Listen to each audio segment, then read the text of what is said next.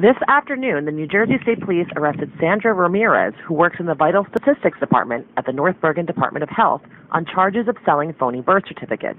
Ramirez is currently in police custody. The Department of Health is headed by Commissioner Teresa Ferreira, who also heads up the Department of Housing, where federal agents made an arrest last week on charges of extortion.